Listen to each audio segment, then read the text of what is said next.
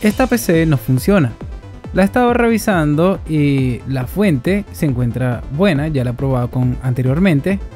Eh, le he sacado las memorias, tampoco genera ningún tipo de ruido. La voy a encender en este momento y no me genera ningún tipo de ruido, no genera ningún pitido, nada al respecto.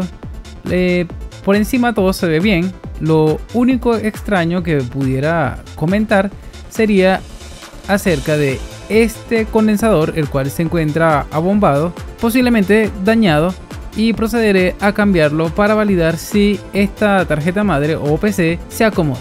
Si quieres conocer todos los detalles, te invito a estar pendiente al próximo video, el cual estaré subiendo próximamente. ¿Por qué crees que